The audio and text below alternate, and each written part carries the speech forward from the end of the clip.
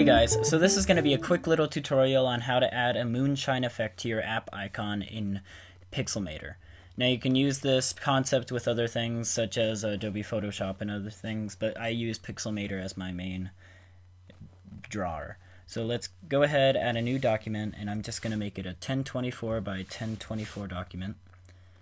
And that is the required size by Apple, so you can have make your own app icon. I'm just going to maximize that. Okay. Now, let us, let's add a little color to our background. Yeah, that looks good. Now I'm to add some text.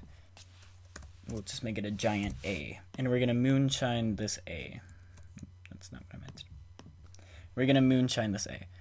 So we want to click on our pen tool over here and click on an area that looks like the farthest point out in the A and then click and drag. That was bad. I can fix that later. So like that and then just go around the A so we can go even behind it so that there's no there's no room for error